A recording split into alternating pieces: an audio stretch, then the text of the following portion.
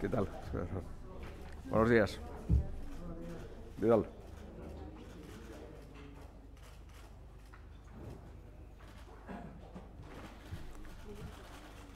¿Me lo quito ya? Con el permiso de Anabel.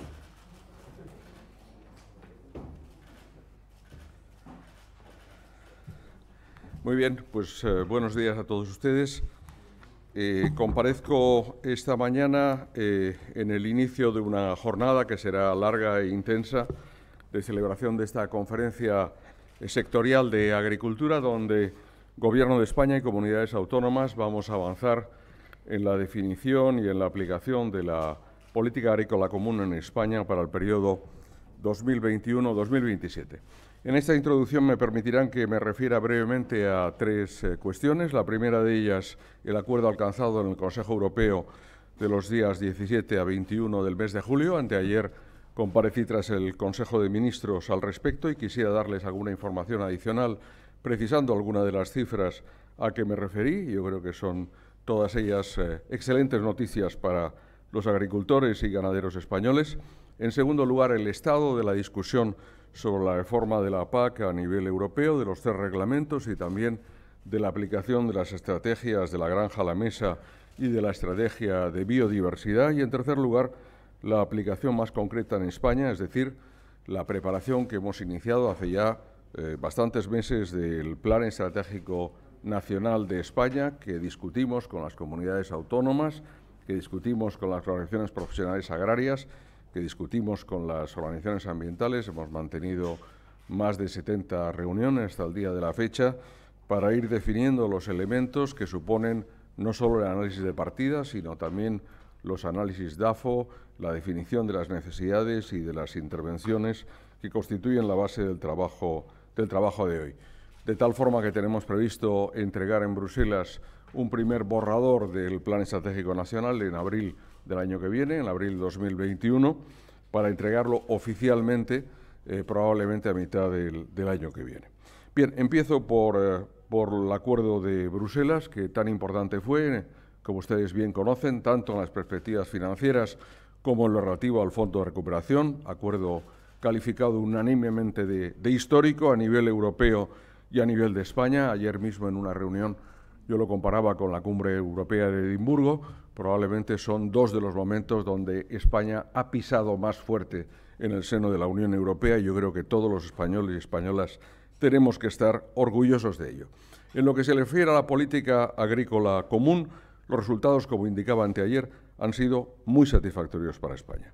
De hecho, eh, eh, si eh, analizamos la proyección que hemos efectuado por parte del Ministerio de Agricultura y del Ministerio de Hacienda de los resultados del Consejo en relación con el primer y el segundo pilar y con la evaluación global son los siguientes. Eh, en relación con el primer pilar, eh, España dispondrá de un total de 39.156 eh, millones de euros para el periodo 2021-2027, de la cual 34.181 de esta cantidad global serán ayudas directas. En el segundo pilar hay dos partidas, como ustedes saben, la encuadrada en las perspectivas financieras, que eh, será, eh, de acuerdo con nuestras proyecciones, de 7.776 millones de euros, más 750 millones de euros que están encuadrados dentro del denominado Fondo de Recuperación en la parte relativa al FEADER. Total, segundo pilar, 8.526 millones de euros. Por tanto, sumando el primer y el segundo pilar, la cantidad resultante es de 47.682 millones de euros, cantidad superior a la cantidad del periodo actual, 14-20, que era, como ustedes saben, de 47.500 eh, millones de euros. Quiero subrayar este hecho porque eh, supone, sin duda, no una autoimposición, como he escuchado decir, del Gobierno para esta negociación, en modo alguno, las organizaciones profesionales agrarias nos hicieron una petición, las comunidades autónomas nos hicieron una petición y este es un gobierno que cumple y que lleva a cabo sus objetivos. Y por tanto, ese objetivo de negociación lo hemos cumplido plenamente. Y estoy muy satisfecho de ello y creo que la labor del presidente del gobierno, Pedro Sánchez, y del gobierno del conjunto y también quiero subrayar la de mi equipo aquí presente, ha sido magnífica a este respecto. Pero es que además de esa cantidad que les he referido, vamos a incrementarla, sin duda, en el marco del Fondo de Recuperación, concretamente de la Facilidad de Recuperación y Resiliencia, donde se van a encuadrar proyectos en el ámbito agroalimentario, aún no cuantificados. Estamos trabajando en el Ministerio con el Ministerio de Economía en relación con el Plan Nacional de Inversiones y Reformas que vamos a someter a Bruselas justamente para encuadrar los fondos del Fondo de Recuperación y ahí les anuncio que habrá proyectos en el campo del sector primario, tanto del sector agroalimentario como también evidentemente del sector eh, pesquero. Pero además de la cantidad global, me importa mucho, como a ustedes, el reparto que hacemos de esa cantidad global. Tenemos en España una media de unos 700.000 perceptores de la política agrícola común en los últimos años. Pues bien, ha habido, como ocurre sin duda en agricultura y ganadería, como en el resto de la sociedad, una transformación en todo este periodo de siete años, de tal modo que se ha reducido el número de perceptores como consecuencia de la disminución de la ocupación en el sector primario, pero también de actividades de reconversión, de fusión y demás. Es decir, la percepción media en el año 2014 era de 6.331 euros y la percepción media por solicitante en el año 2019 es de 8.482 euros, es decir, un crecimiento de un 6,8% anual. Y nuestra previsión es que, de acuerdo con las proyecciones que tenemos económicas y demográficas, esa tendencia continuará hasta el final de la década, con lo cual tendremos que hablar no solo globalmente de las cantidades, sino también de su aplicación al conjunto de nuestros agricultores y ganaderos. Algunos aspectos más técnicos, pero sin duda importantes también políticamente, del acuerdo europeo que me gustaría subrayar eh, telegráficamente. 40% del conjunto de los fondos tienen que dedicarse a fines climáticos, de lucha contra el cambio climático o ambientales, lo cual yo creo que está perfectamente en línea con el Pacto Verde Europeo y con una estrategia que es una estrategia común de todos los sectores. También el desarrollo de la convergencia externa entre países miembros. Un elemento muy importante, el de el establecimiento del techo de las ayudas, como ustedes saben, se había discutido una cantidad entre 60.000 y 100.000 euros por perceptor anual. El Consejo Europeo ha decidido que esta cantidad sea de aplicación voluntaria por parte de los Estados miembros. Yo eh, quiero adelantarles que dentro de un momento, en la conferencia sectorial, voy a proponerle a las comunidades autónomas que España aplique el límite de 100.000 euros por perceptor, teniendo en cuenta los costes salariales, es decir, que podamos, lógicamente, modular ese techo en función del número de empleados que estén de alta en la seguridad social por parte de determinadas explotaciones. Eh, otros dos elementos, y concluyo sobre este primer punto, en la reserva agrícola, que se sustancia en una cantidad de 450 millones de euros, y finalmente el tema de la flexibilidad de fondos entre pilares, primer y segundo pilar, que sin duda será otro de los temas en el menú de discusión, eh, ya sea hoy, ya sea en próximas reuniones con las comunidades autónomas. Segundo aspecto, ¿dónde estamos en la discusión europea?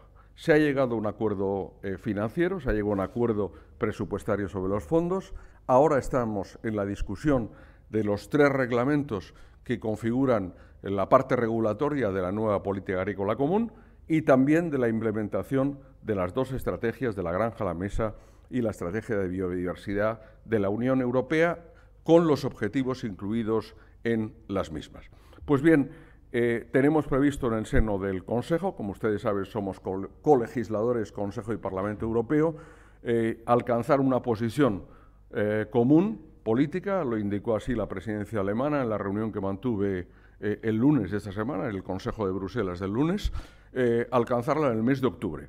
El Parlamento Europeo, en la segunda sesión plenaria que celebrará el mes de octubre, también concluirá una posición política, con lo cual los trílogos, es nuestra previsión, se celebrarán a lo largo del otoño e invierno, con lo cual al principio, creo, de 2021 se podrá haber alcanzado un acuerdo desde el punto de vista legislativo. Pero es que además, en relación con la granja a la mesa, eh, tenemos que adoptar en el seno del Consejo para el mes de octubre conclusiones políticas y también habrá que trasladar algunos de los objetivos cuantitativos señalados tanto ahí como en la estrategia de biodiversidad en relación con las intervenciones. Concretamente, la Comisión Europea tiene previsto enviarnos a España recomendaciones para nuestro Plan Estratégico Nacional en relación con estos objetivos y con carácter previo, mi equipo y yo mismo vamos a mantener un diálogo político y técnico con la Comisión a la hora de definir esos eh, elementos. Tercer aspecto, una vez todo esto ocurra, cómo y cuándo se va a aplicar en España. Un elemento de, digamos, entre este segundo y el tercer eslabón. Eh, está claro que ya se preveía, visto lo tardío de la adopción de estas perspectivas financieras y del Fondo de Recuperación, una entrada en vigor con un año de retraso de lo inicialmente previsto, es decir, en 2022 en lugar de 2021. España defendía esa posición con Francia y con la Comisión Europea, pero yo creo que la crisis del coronavirus ciertamente ha producido un retraso suplementario y en estos momentos, de acuerdo con el calendario que les acabo de ofrecer, está claro que la nueva PAC desde el punto de vista regulatorio, no entrará en vigor sino el primero de enero de 2023. Por tanto, los años 21 y 22 serán años de transición, eh, nuevos fondos, es decir, nuevo presupuesto, pero viejas reglas, las de la antigua PAC, que serán las que se aplicarán el conjunto de la, de la, agricultura y ganadería de España. De todas formas, no renunciamos por parte de España a la introducción de algunas medidas ya en los años 21 y 22 para no perder tiempo y particularmente, como ustedes sin duda recordarán, de, anteriores comparecencias, lo relativo al artículo 167 de la Organización Común de Mercados Agrarios en relación con la capacidad de organización eh, del sector, particularmente del aceite de oliva, eh, en relación con la oferta, que creo que es un elemento fundamental y que está incluido en este momento eh, con el eh, criterio favorable del Parlamento Europeo, del Consejo y de la Comisión en el borrador de reglamento que previsiblemente se adoptará en el mes de octubre y publicará probablemente en el diario oficial finales de octubre, principios de noviembre. Bien, en tercera parte, los temas concretos que hoy van a ser objeto de discusión con las comunidades autónomas. Hemos hecho un menú muy claro un menú europeo con preguntas, respuestas. Sometimos un cuestionario en el mes de abril.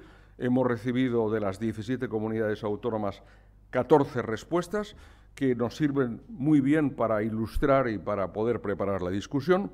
Los temas van a ser cinco, temas yo creo que de un gran interés me detengo un segundo, un pequeño paréntesis. Eh, les parecerá que esta discusión es muy densa, muy larga, pero estamos hablando de cantidades de una inyección de 6.800 millones de euros anuales en la economía española. No hay sector que reciba un nivel de apoyo tan importante y sin duda merecido. Y en esta crisis lo ha demostrado claramente en relación ciertamente con el abastecimiento de alimentos y bebidas a todos los ciudadanos. Cinco temas. Primero, agricultor genuino quién es el agricultor que debe percibir las ayudas de la política agrícola común. Como ustedes saben, y lo he dicho más de una ocasión, la agricultura profesional y familiar es el modelo de referencia de este Gobierno. Así lo sometí al Consejo de Ministros en noviembre del año 2018, cuando presenté la postura de España ante la reforma de la política agrícola común. Pues bien, les doy un dato estadístico que sin duda ilustra lo, lo variado y lo diverso que es nuestro sector primario, nuestra agricultura y ganadería. Del conjunto de los perceptores de la PAC, eh, de todos aquellos que solicitan y obtienen las ayudas de la PAC, el 29% de sus ingresos proviene de la renta agraria y un 71% proviene de una renta no agraria. ¿Qué significa eso? Pues significa que tenemos una agricultura profesional, sin duda muy importante, yo diría que con un nivel de, ingresos muy altos en relación con el conjunto de los ingresos de agricultores y ganaderos.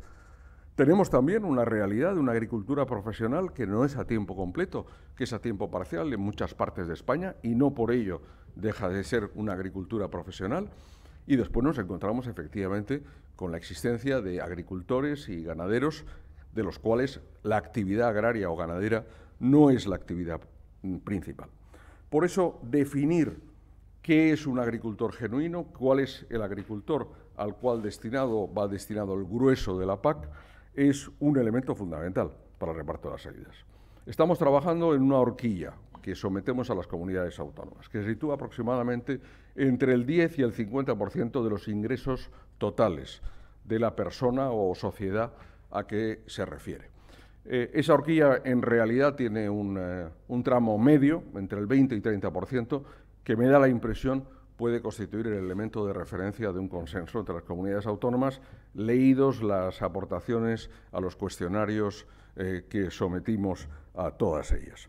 Bien, este va a ser un elemento fundamental porque el agricultor genuino no solo es el que percibe la ayuda básica a la renta, sino que también es elegible a los efectos de los ecoesquemas, es elegible a los efectos de los pagos asociados, incluyendo pues la ayuda al algodón o de la ayuda a las zonas con, eh, dificultades desde el punto de vista eh, natural, con especiales dificultades.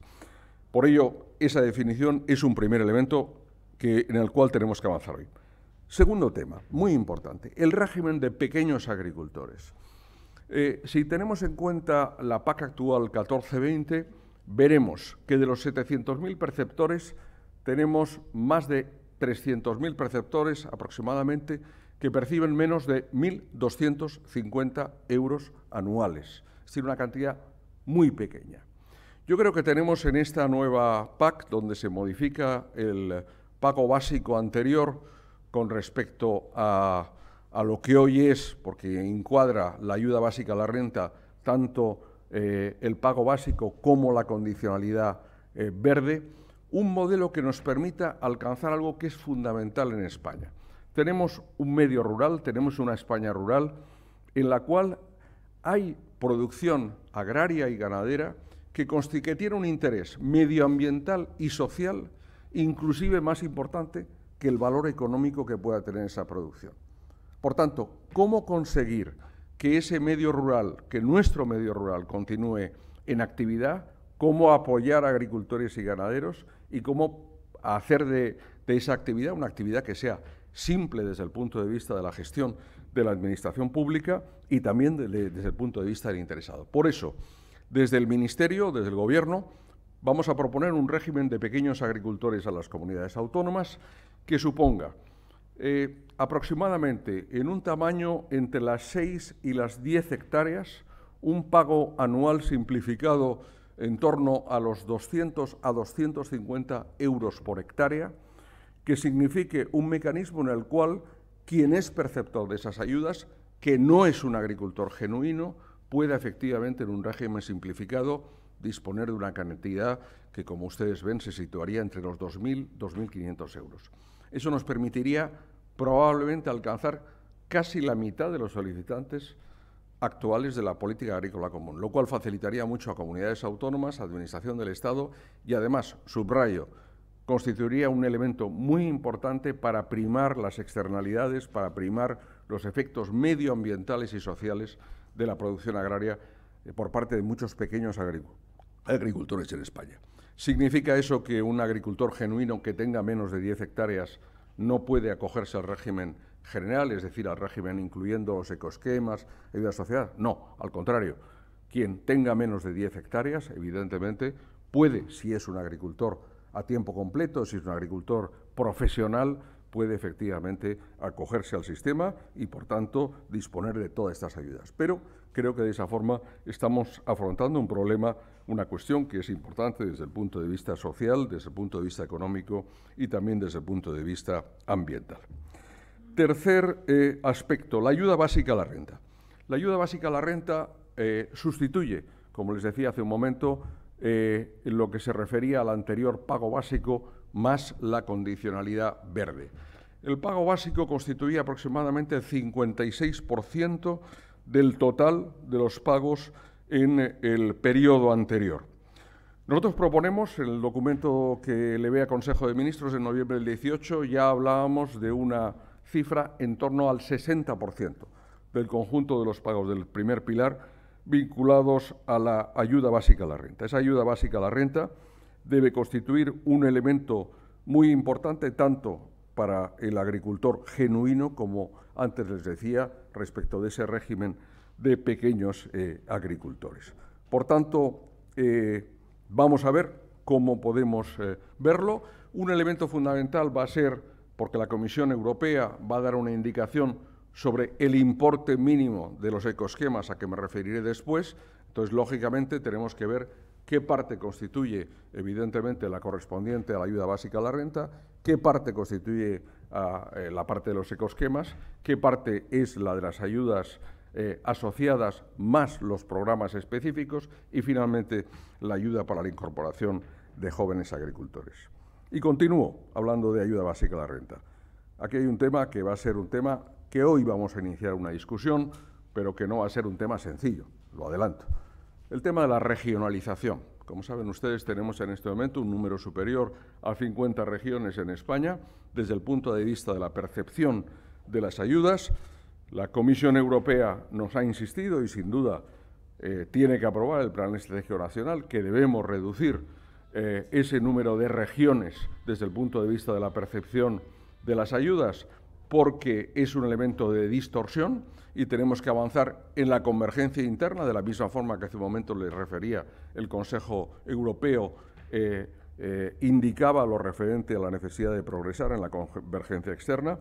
Ello supone que tenemos que modificar nuestros modelos de regionalización, disminuir de una forma muy significativa su número y aumentar, y permítanme que utilice esta expresión genérica, la discusión tiene que progresar y me gustaría hacerla de forma abierta, sin declaraciones previas por mi parte eh, muy concretas a este respecto, desde el punto de vista de la equidad del reparto de las ayudas eh, de la política agrícola común en las distintas regiones productivas. Por tanto, tendremos que ver cuáles son los umbrales, pagos máximos, pagos mínimos, cuál es el número de regiones y otros temas.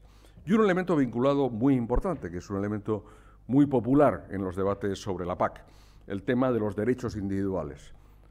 Creo que está claro, y ya lo hemos comprobado en esta conferencia sectorial, en, reuniones anteriores, en los últimos meses, bajo mi presidencia, que una mayoría de las comunidades autónomas están por la desaparición de estos derechos individuales, eh, vulgarmente denominados derechos históricos, que en muchos casos no están asociados a una actividad productiva concreta en este momento, que constituyen un lastre desde el punto de vista del funcionamiento transparente y competitivo de los mercados agrarios, en particular de las transacciones, alquiler y venta de tierra y de explotaciones, y constituyen una gran dificultad, y quiero subrayarlo porque para mí es uno de los elementos más perjudiciales para la incorporación de los jóvenes agricultores.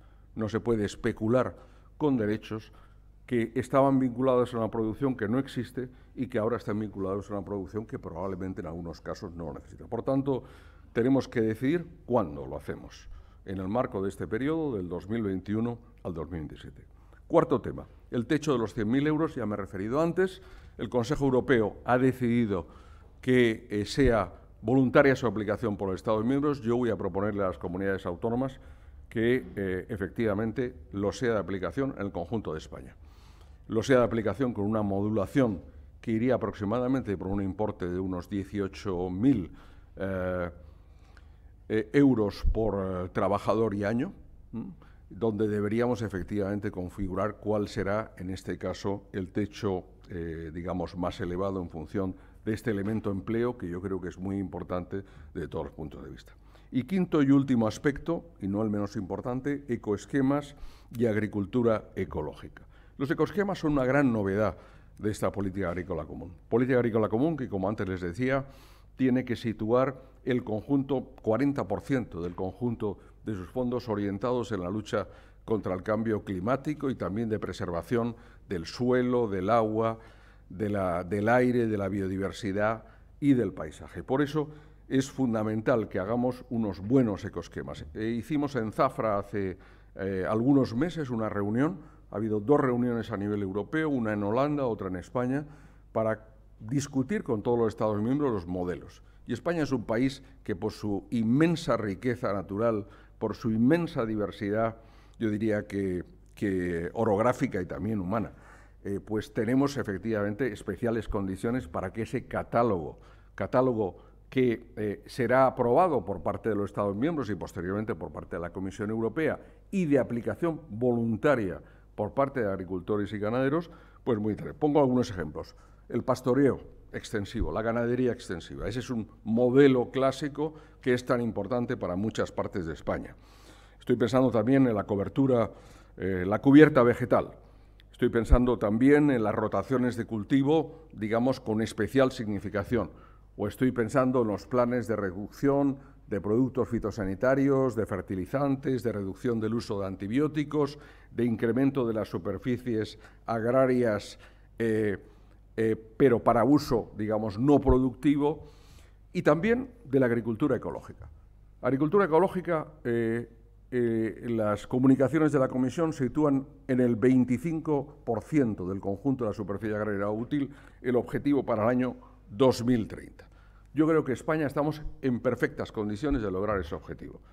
Estamos en el 9% en este momento, pero yo mismo, por ejemplo, para el sector del olivar, he propuesto que en los próximos años, de cara al 2030, tripliquemos la superficie eh, ecológica. ¿Cómo lo hacemos? Y este es uno de los debates que tendremos en el curso del día de hoy. Como ustedes saben, con cargo al segundo pilar, y es un poco mi pensamiento, podríamos introducir todas las ayudas eh, que pudieran, a nivel de comunidad autónoma, significar la transformación de una, agricultura, de una producción eh, tradicional en una producción ecológica. Y después, sobre la base de los ecoesquemas, sería un poco mi pensamiento, lo que voy a poner sobre la mesa el día de hoy, el poder mantener la ayuda permanente que supone, sin duda, una necesidad desde el punto de vista productivo superior, sin duda, en materia de costes, como es la agricultura ecológica. Agricultura en la cual, como ustedes saben, tenemos la primera superficie y somos el primer productor de la Unión Europea, que es sin duda uno de los nichos de futuro dentro del mundo agroalimentario, en función, eh, no diría no solo de las opciones productivas, sino también de las opciones de consumo por parte de ciudadanos y ciudadanas. Es una agricultura que en Europa se denomina habitualmente orgánica la Comisión Europea en este mandato, en estos cinco años, en esta legislatura, va a someter un nuevo reglamento de discusión sobre la definición del carácter de la agricultura ecológica y sus características, y yo creo que España está muy posicionada, muy bien posicionada a este respecto. Bueno, este es un breve resumen de algunos de los temas que vamos a discutir hoy. Sin duda verán ustedes que no acaba eh, el esquema de todos los temas clave de la negociación eh, de la PAC y de su aplicación en España. Mi intención es que reuniones como las de hoy, al menos tendremos que mantener dos más con las comunidades autónomas, una muy probablemente en el curso del próximo otoño y otra a principio del año que viene, donde fijaremos definitivamente el marco de aplicación en nuestro país de una política que es tan importante desde el punto de vista presupuestario, pero sobre todo, quiero subrayarlo, desde el punto de vista económico, social y desde el punto de vista ambiental. Estoy a su disposición.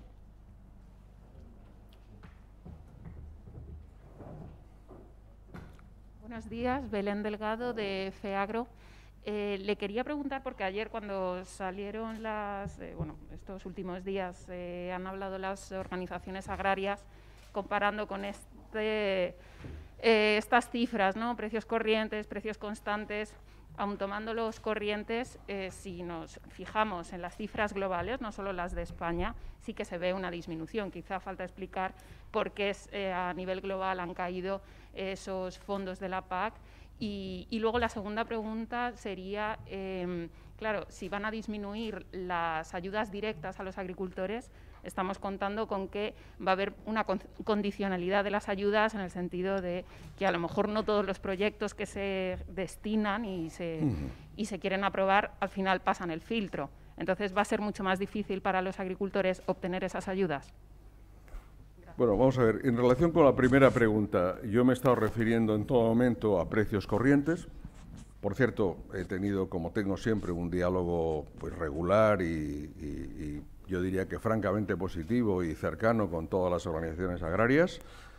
Yo sé que, hace, que han hecho un análisis, como en el pasado, en precios constantes, que es, como saben ustedes, una técnica estrictamente presupuestaria, ¿eh? que no se refiere a presión, sino a una técnica de cálculo presupuestaria.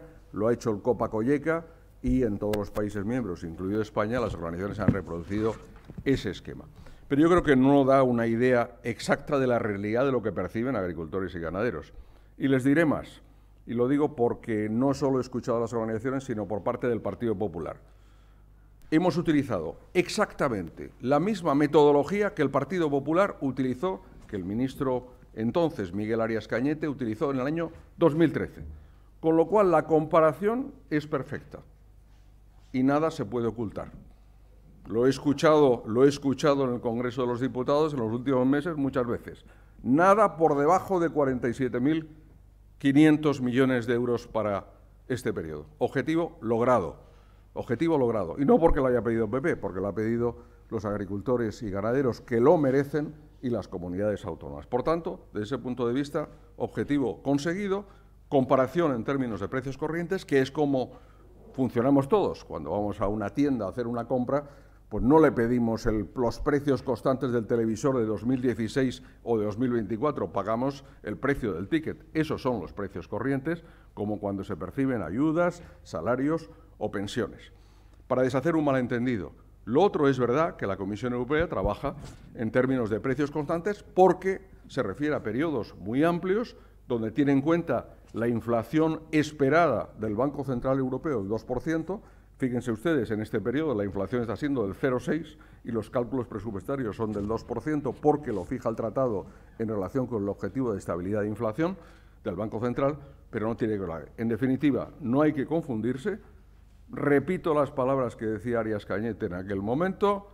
Lo único que da una referencia exacta son los precios corrientes. Lo suscribo, para que vean ustedes que aquí no hay ideología, sino visión práctica de las cosas y efectivamente en esa prueba efectivamente hemos superado lo que teníamos previsto, como he indicado al principio. Segundo, en relación con las ayudas de este periodo.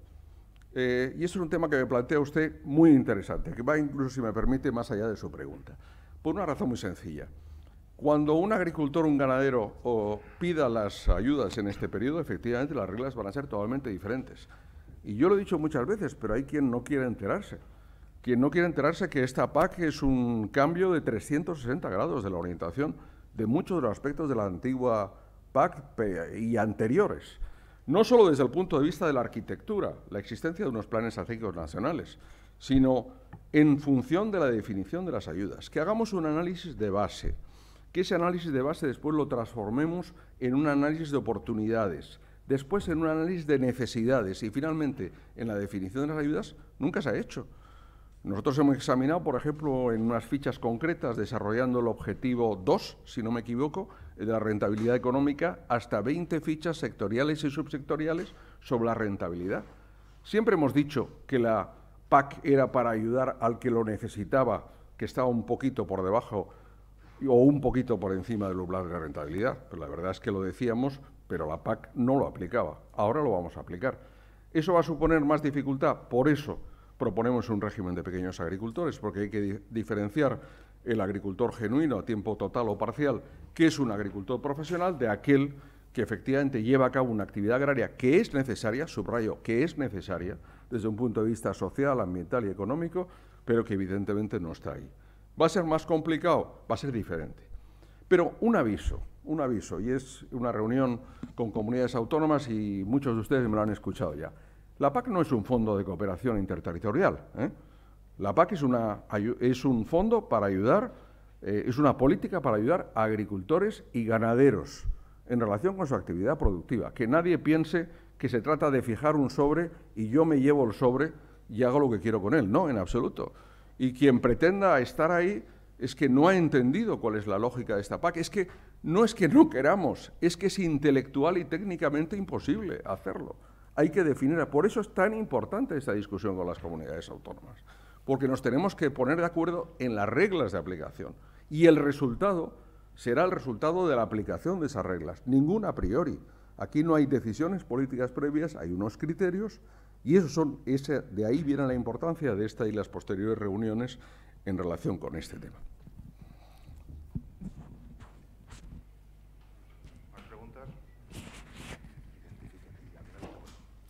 Sí, José Luis Martín de Castilla-La Mancha Media. Eh, le quería preguntar al ministro por un tema concreto. Eh, es una propuesta que va a hacer Castilla-La Mancha sobre si hay eh, previsto margen presupuestario para instaurar ayudas al olivar de bajo rendimiento. No sé si será posible con estos, con estos fondos que, que llegarán ahora. Gracias.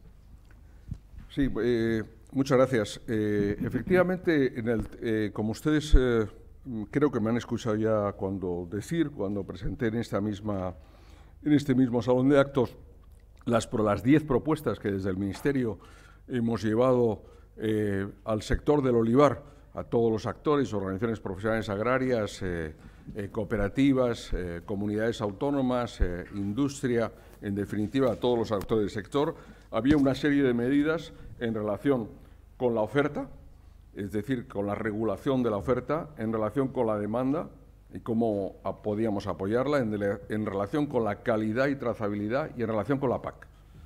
En relación con la PAC, ese tema que usted me plantea me parece fundamental, porque estamos hablando de costes desde el punto de vista de producción, de un kilo que puede ir entre el olivar intensivo o superintensivo entre 0,8 y 1 euro de media por kilo y los 3 euros y medio a que se refiere el olivar tradicional y sobre todo el olivar tradicional en pendiente, al que, es el caso sin duda más extremo desde el punto de vista de la dificultad del empleo de la mano de obra y de la recogida de la, aceituna.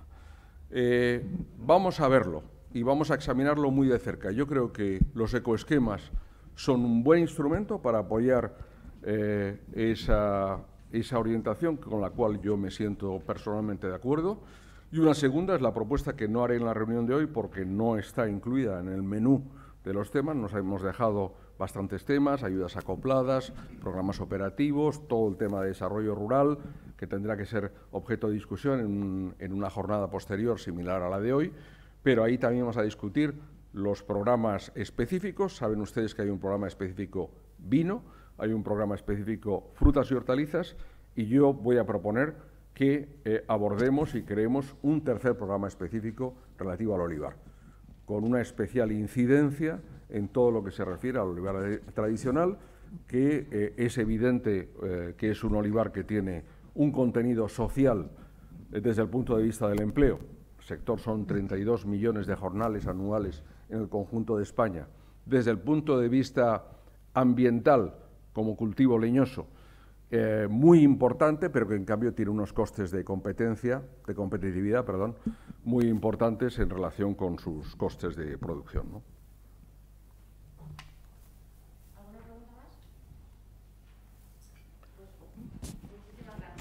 Muchas gracias.